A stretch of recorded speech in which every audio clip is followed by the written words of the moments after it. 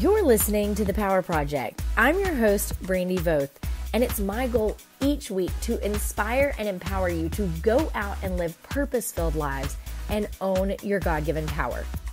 On this show, I love spotlighting women that are doing just that. Occasionally, we bring in some purposeful business coaching for you, and then Weeks like this, you are lucky enough to see the beautiful marriage of both of those passions of mine. My guest today is a professional storyteller that has made a living out of her hobbies as a child and goes on to coach business teams all over the world to learn how to tell stories.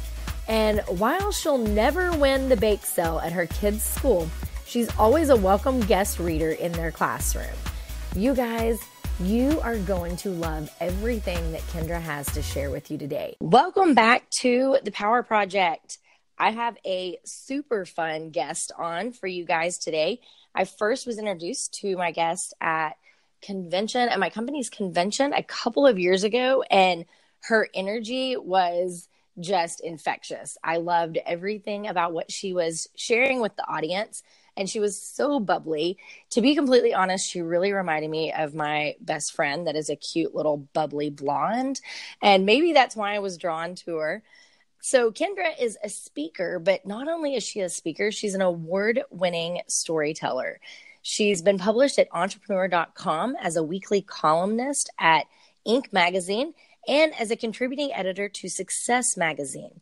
She speaks for and works with brands of all sizes to help them harness the power of storytelling. Offstage, she lives in New York City with her husband and her son and daughter. She's an avid SoulCycle writer, get it, girl, mm-hmm. and prefers the window seat on airplanes and always drinks her coffee cold. So, you guys say hi to my guest. Hey, Kindra, how are you? Hi, Brandi. I'm so good. It's so good to be here with you. I'm so excited to chat with you today. Seriously, the first time that I saw you, I was like, this chick is like my best friend, Amanda. Like, just the energy you bring to a room is so fun. I love it. Oh, um, and that was a good day. I remember we met outside of the session, didn't we? Yeah, but you know what? That was the second time. Like, I saw you at the first convention that you spoke at. Oh, that was yeah, a good I, one, too that was a great one. That was a really great one. And then, yeah, I had the opportunity to meet you at the second one because I had told so many people they needed to hear hear what you had to say. Because as, as we're going to dig into your story, I'm going to let you let everyone know, you know, really what it is that you do and how you got started. But uh, my takeaway was I've always told everyone like tell, but stories sell. And yeah. you literally have basically you've built a career out of storytelling. It's true. I know which when you when you say it like that it it's still kind of still kind of shocking but exciting and and um important. Isn't it funny like were you the kid that was ever told like oh that sounds like a story yeah you know i think um I think I, I definitely think that I've been a storyteller from from the start, and um, but even at a even at a young age i, I focused i cannot tell a lie. Um, i am not a good liar but so so my stories even at a young age and definitely now have always been true. Now they are they are detailed and they are expansive but they're always true I love that, and I think it's so funny. I just a side note. I have a, I have a son that is a storyteller, and that was kind of part of what I was going to ask you. Like, do you think that people are just tellings built into people? I do realize it's a craft that can be honed, but do you think that some people are just like genuine storytellers from day one? Like, where does that come from? Yeah, I mean, I think that I mean, if you trace back um, you know, without without getting too deep into it, but but when you trace back all the way to our beginning, this is how we were able to organize ourselves as communities. This is how traditions and lessons and um, things to be careful of and things to do more of were passed were passed down.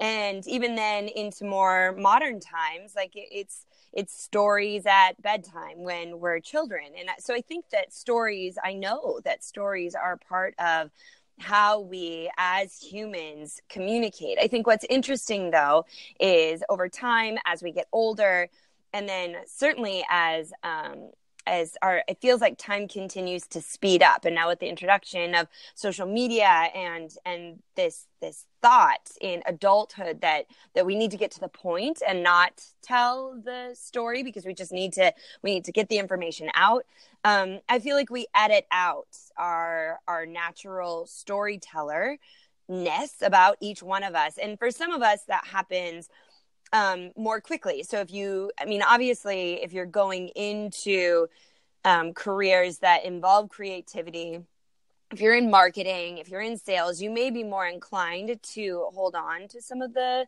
storytelling that is a natural part of us. But if you move into more linear thinking, um, and even leadership executive levels, there, there's the tendency to edit that out. So and that's where i think yeah the great that's the great tragedy right? Because because ultimately no matter who you are no matter what your role is no matter no matter any of it we are all still people. And therefore we are all still impacted and connected by stories. Right. Yeah. And that, you know, that brings me to a question I was going to ask you. So this morning, I noticed on your Instagram stories, you had a much better start to the day than yesterday morning. Mm-hmm. Yeah, that's right. yeah. So I so and that's I think that people miss the mark when they're utilizing like Instagram stories are Instagram stories, right? And so I think people get so confused with not knowing exactly how to whether they're an influencer or a, a business owner or they're marketing, whatever they're utilizing Instagram stories for, I think that they miss the mark on really sharing the story behind what it is that you're doing. And you're doing a phenomenal job. I know that you've had companies call you in to teach them how to do that. So, can you just speak to a little about like sharing the story on social media? Yeah, I think that so one of the beautiful things about social media, I mean there's a lot of there's a lot of downside to social media. I think we can all feel it. It makes us there's there's the dark side, right, where you're comparing yourself to others or to, you know, others highlight reels. But one of the really beautiful things about social media is it gives us, each of us, any of us, whether you consider yourself an influencer or not, whether you are an influencer or not. It gives each of us a place to put our stories. Um, and and a place for people to read them or watch them or or hear them so i think there i think that that's the first step in using social media um, is to recognize that this is a place where stories should be shared. And going back to what we were just talking about, humans want to hear stories. So it's the marrying of these these two perfect things the, these two perfect forces humans wanting to hearing wanting to hear stories and then having the the platform the the medium the opportunity to do so but where we do miss the mark right is um, there's a tendency to to kind of talk around the story or to to mention the story but not necessarily tell it. So the what you're what you just mentioned here today is a post that um, i put up yesterday which which lives static on my instagram grid right? So it's one of those pictures that if you click on it the caption will always be there. It was a caption to one of my pictures. And i tell the story of my morning yesterday and um and how awful it really was. But I didn't just say we had a really bad morning. Um, I went into the details of it. I said that my husband and I were having a heated discussion about a website. Um, I mentioned that then the conversations that morning, de- you know, descended to an argument with my son about his track pants that he wanted to wear to school, and then descended further with my daughter and having another instance of her tying her shoes. And the whole morning ended in the silent treatment for some, and two of us were fuming. One of us was bawling. Um, and, and the story went from there. And the key to that, and the, the comments and the responses, many, there were many of them. And I think there's two things at play here. Number one is really in the art of the story and how you craft a story. And this is where people can go wrong. I went into the details, right? I'm sure even if, as I mentioned that there, you have kids, I don't know if they're, um, at the shoe tying age. But any parent who has had children um, who have to learn how to tie their shoes, they know how aggravating this is. It is, it is a real, it's a real detail about daily operation of, of hashtag parent life, if you will. Um, so I got really specific about that. And in doing that, anyone who's reading it who has had that experience can directly relate. And they put themselves right there in their own living room or right outside their front door or wherever it is that they have that shoe tying conversation. And it just makes it that much more real. So that's a key when you're when you're crafting your stories and putting them on social media is is to really tell them to to share those details so people can connect to them. And then the second element of it is to use it as an opportunity to to be real. Like this is that was a real moment. That was a real story. And um i think one of the beautiful things about storytelling is that it helps people feel normal you know like i'm sure there's so many parents who have had those mornings and you just feel like you're failing. It feels really good to hear that other parents are going through the same thing. And so to have the courage and the bravery to to share that story that's of your not so perfect life um, really brings people together and, and helps other people brings um, support and and comfort to other people's lives. Whew, I had a lot to say about that, Brandi. no, no, I love that, and I think that that is so important because you know we've we've seen the evolution of social media, which is like the wild west. We're all just kind of learning as it happens. And it was like we were all thrilled to have Facebook, and we were like, or no, I'm sorry, we were all thrilled to have MySpace. Oh, yeah and it was like oh yay we're going to connect with our friends and then we moved into the world of facebook and it was a little different. And you know we shared just our lives and and food that we cooked and things like that. And then it's like instagram all of a sudden was the pressure to have the pretty look. And so i think the shift that i personally see in social media right now is people are begging for authenticity but not like you know hey, guess what? Just one person had one picture of viral stretch marks, and now everyone's like, here's a picture of my stretch marks. But it's not that. It's the story of who you are and authentically owning your own story and crafting your own story. And so I think that's important just in life that people want to hear who you are, what you have going on. But where does that intertwine with business? Like, why does it matter in business that you are crafting your story, that you're authentically sharing, and that you're showing up in maybe not always the best version of yourself, but the truest version. Yeah, I think that so the the reality is, and, and you know, it depends on the kind of business that you're in, but but there is a baseline that people want to do business with other people. Um, they the people that have flaws, people that have successes, people um, that they can relate to. And and stories give you when you're when you're in business um, a really great and controlled environment to share pieces of yourself if, especially if you're building a personal brand that people can connect to that is beyond the features and benefits of the product you offer or the mission statement of the company that you're a part of, um, or any of the other business jargon that we don't even realize is jargon um, at the longer that we're in the work that we do. So, I mean, that's that's so whether you are running your own personal brand and building your business that way, or whether you work within the walls of a company and you're um, building your brand there with your with your team with with stakeholders you know with other you know maybe you're higher up so you can uh, get promotions and move to the next level in your career. Um, stories to illustrate the value of what you bring to the table of the initiatives that you feel strongly about. Um, they're all really important places to enhance what you're already communicate what you're trying to communicate. So you have so many great um, takeaways and tangible steps for incorporating stories into business. And you have a new book out that we are going to jump into in just a bit. But i feel like we just jumped straight into like the nitty gritty guts of the interview which i love because i'm excited to have it all out here. How did you get involved in this? How did you become the the storytelling expert. funny. Um, well, I told my first story that I can remember, like the first formal story when I was in fifth grade. It was an assignment for my English class, and we had to learn a children's book.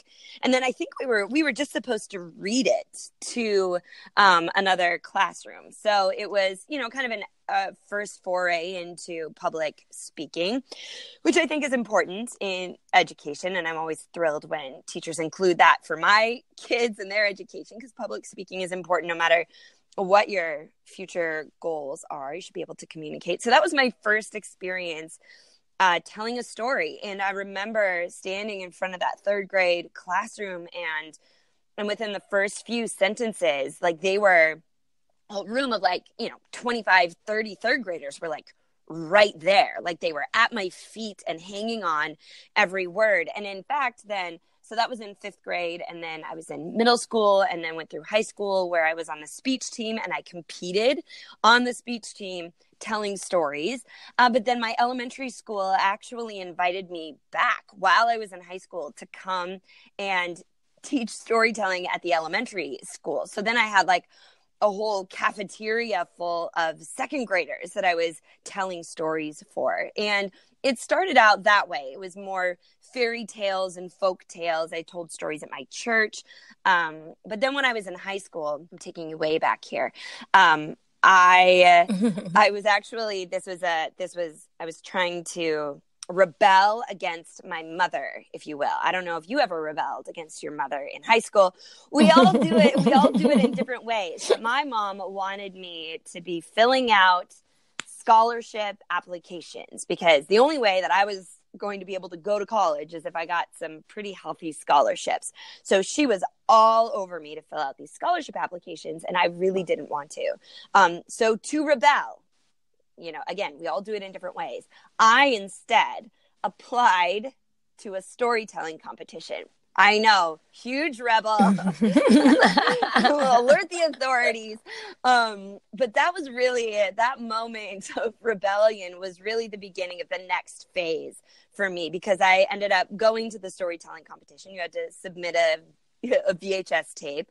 Um, I ended up winning the competition in my category, which then allowed me to go to the National Storytelling Festival, which, yes, they have those, um, which was in Jonesborough, Tennessee. And it was at that festival, though, that I saw.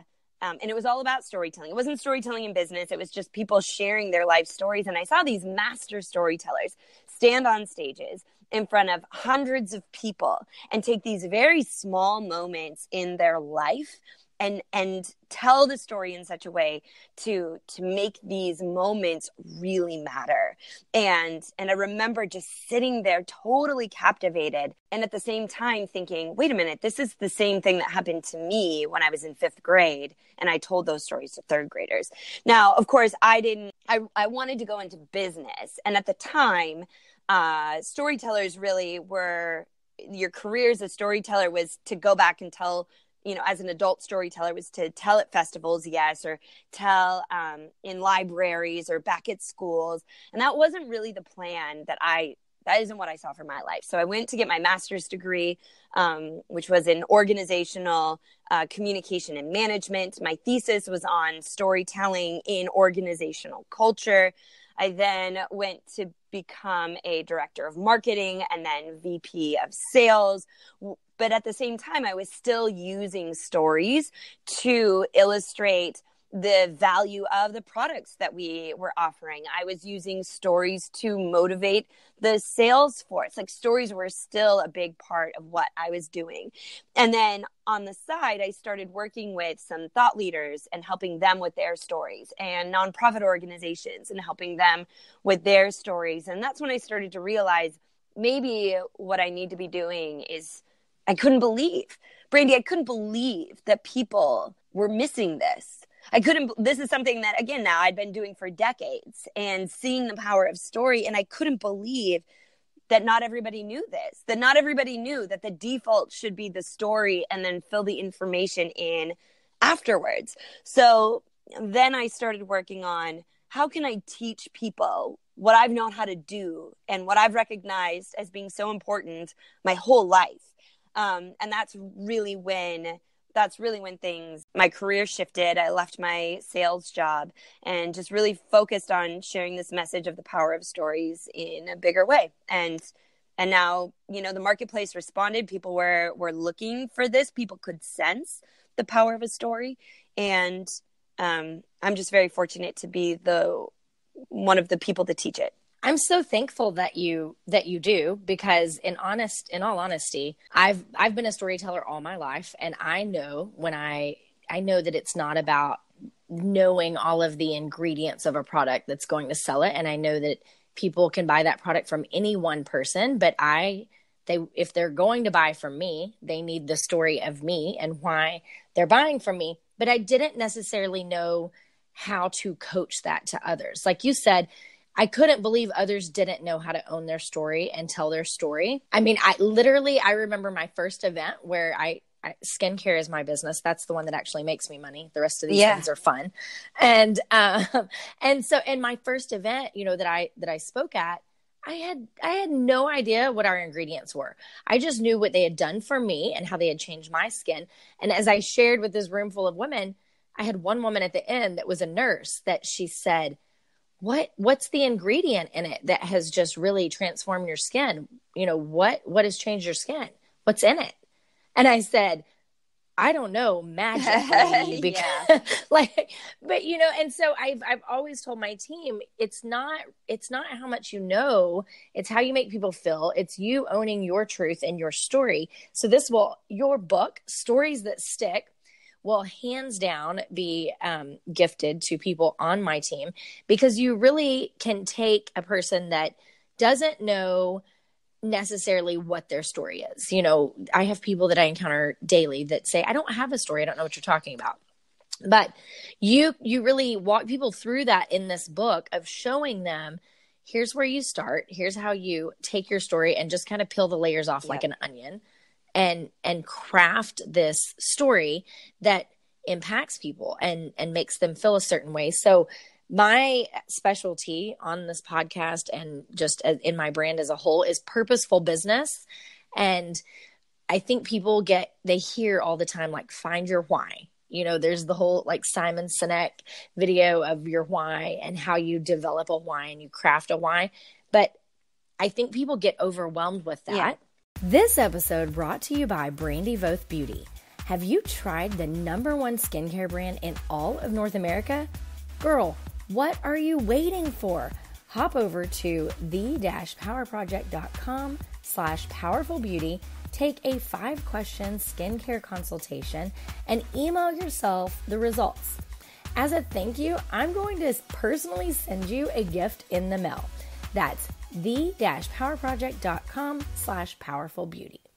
You you do a really great job in the book in in one of your chapters about the purpose yeah. story. Can you walk us through and just give, without giving away too much, just give some tangible steps to crafting a yeah i think you know and what you're saying here is is so important in that people do they get overwhelmed and they think that they think that it, it it's bigger than it actually is so i think the key the biggest thing that i would recommend um, to to anyone to to the people who are listening here to your team brandi is when you're thinking about your why when you're thinking about your purpose it sounds like such a big thing but what you need to do instead don't be thinking about how big it is go small. And this isn't um there's a lot of great stuff in the book. I don't think this is i don't think this particular tip is in the book so you're going to want to get the get the other ones but they choose one moment. And, and and the other thing to remember is we all have like I have that moment when I was in 5th grade telling the story, but I have I have I have many moments along my journey that that are standout moments that are that are stories in and of themselves that are add up to where I am at today.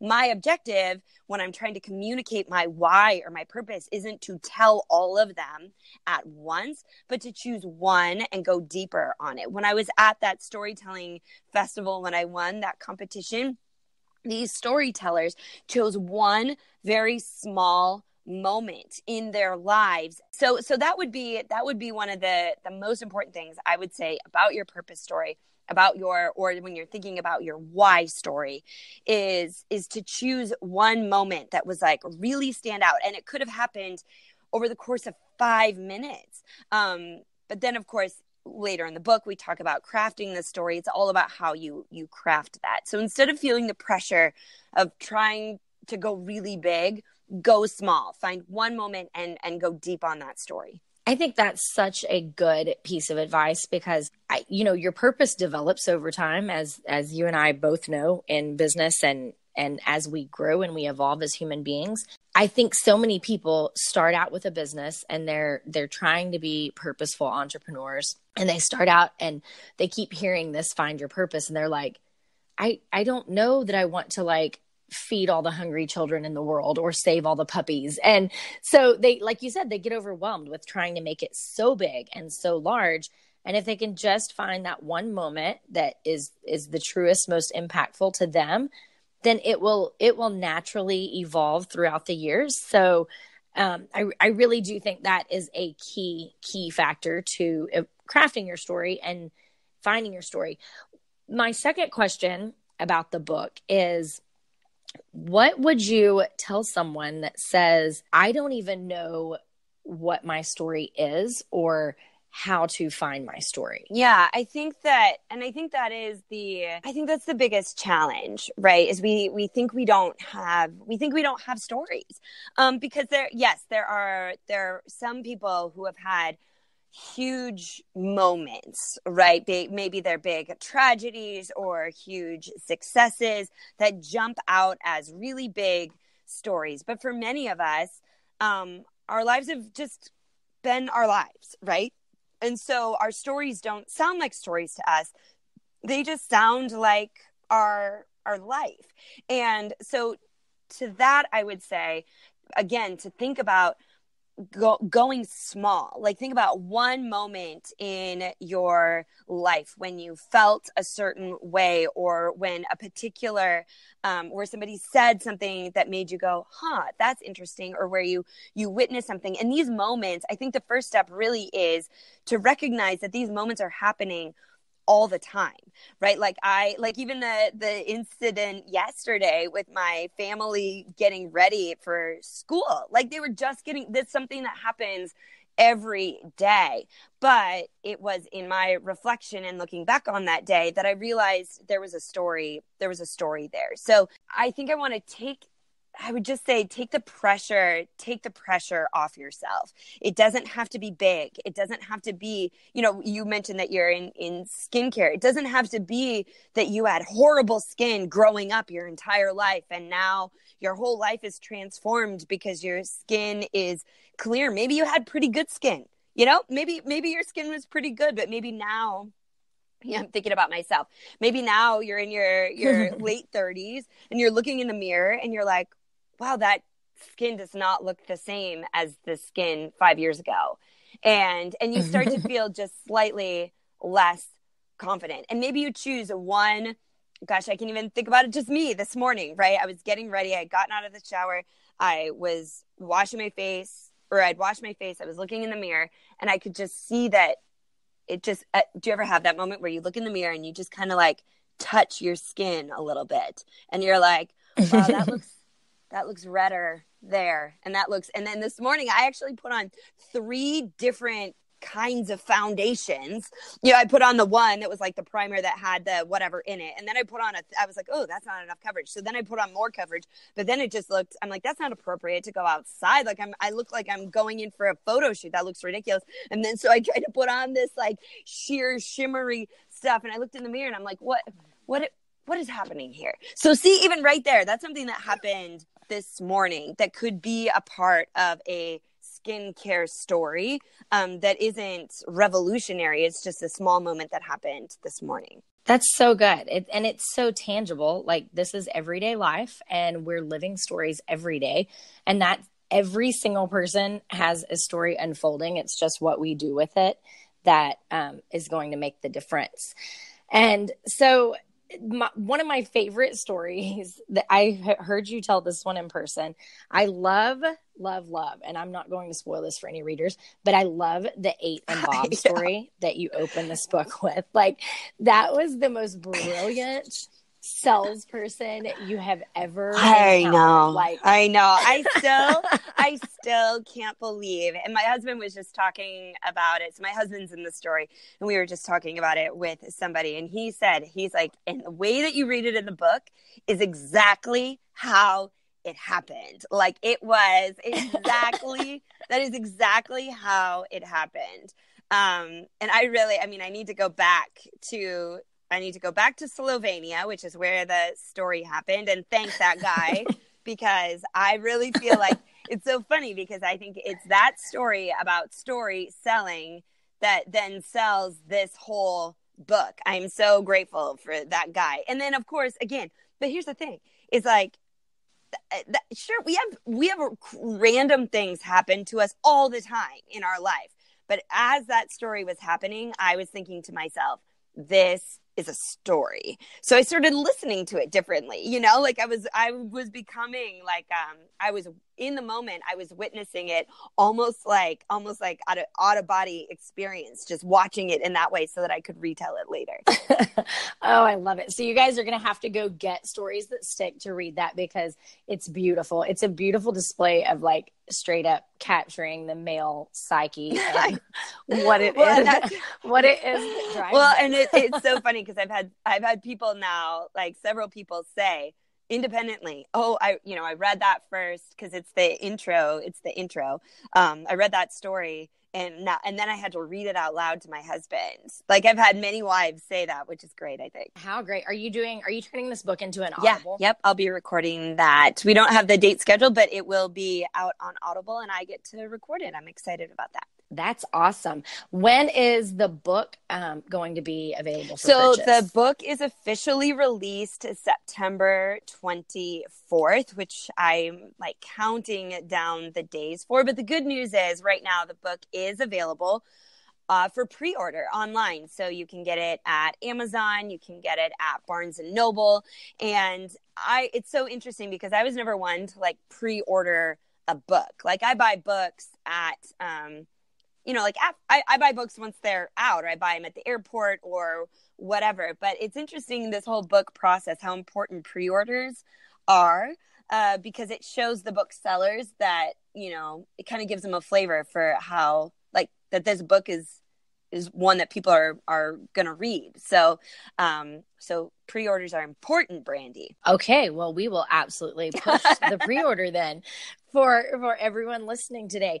Uh, before we hop off here, because I totally appreciate all of the information that you've shared with us, but if you were at a cocktail party or in an elevator and you had three to five minutes to share your favorite cocktail party story what is it? And share it with us. Oh my gosh. Favorite cocktail party story. Like any like just some story you would share with someone that you think is a great story they should know.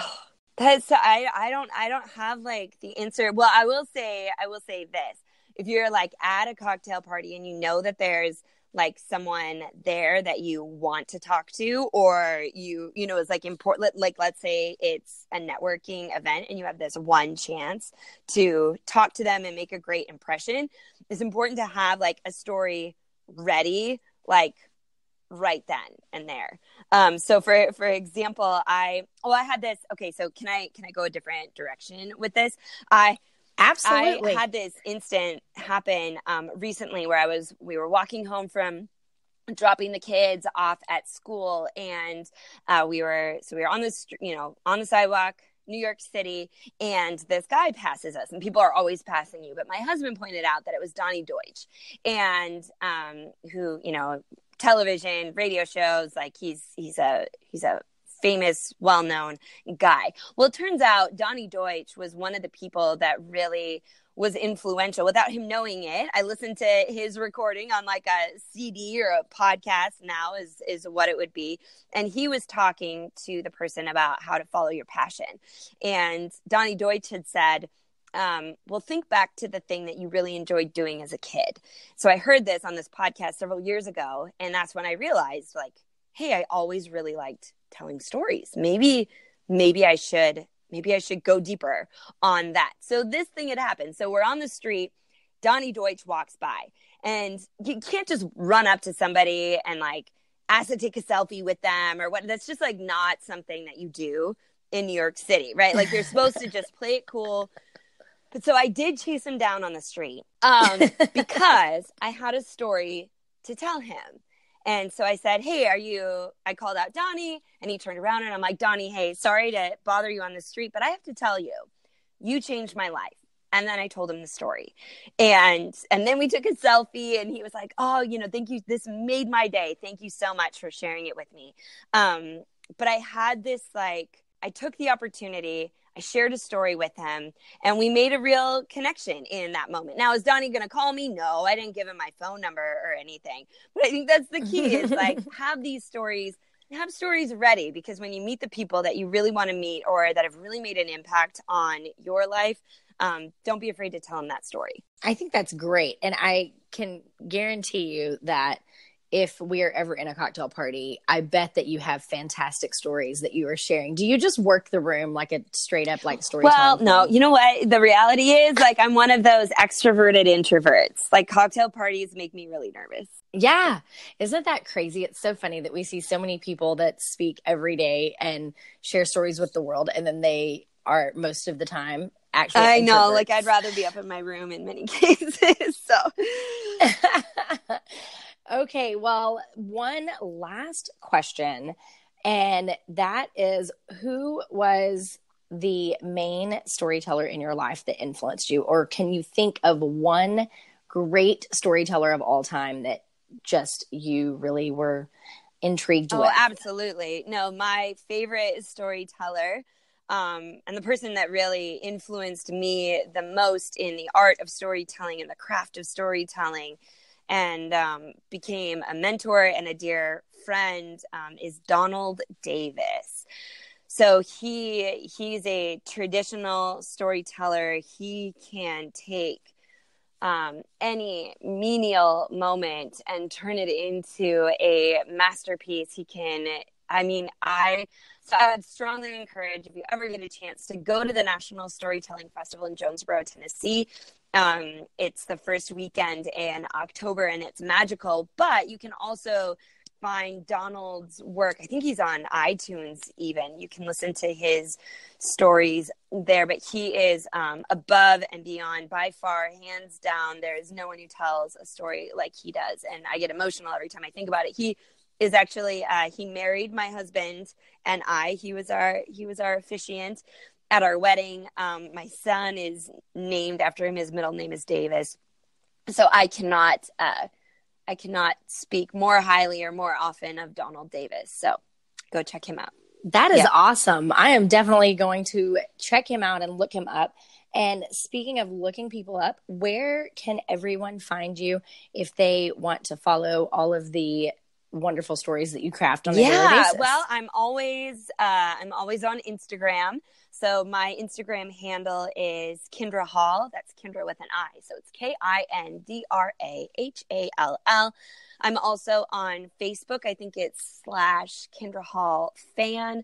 Um, and also, if you go to my website, which is kindrahall.com, there's an opportunity there to sign up for my weekly um, newsletter, which are actually videos that are all about storytelling. So I send out weekly videos about storytelling but yeah, those are the places. And of course, um, now on Amazon and Barnes and Noble with uh, stories that stick. Awesome. Well, I will be sure and add all of that in the show notes so that people can hang out with you. And once again, I appreciate you taking the time out today to chat with us. It's been so fun. And I'm absolutely loving the book. I look forward to hearing more stories from you over Yay, time. Thank you so much, Brandi. It was a pleasure. Thanks. You have a you great too. day. Bye now. Oh my gosh, you guys, isn't she just a delightful ray of sunshine, wrapped with purpose, and tied up in a pretty little business bow? She's one of those just bubbly butterflies that I want to listen to everything she has to say. I hang on her every word, but she has some major tangible takeaways to help us in life, in business, in nonprofit, in ministry. You can apply what Kindra taught us today to any area that you are in. If you like what you heard today, do us a favor go write a review, subscribe, share us on all forms of social media, get crazy, tell all your friends about us. And as always, I can't wait to chat with you next week. But until then, go out and live your best purpose filled lives.